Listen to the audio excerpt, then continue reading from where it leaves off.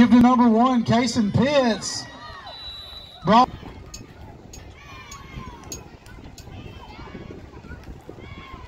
Quarterback keeper by number two, DJ Morrow.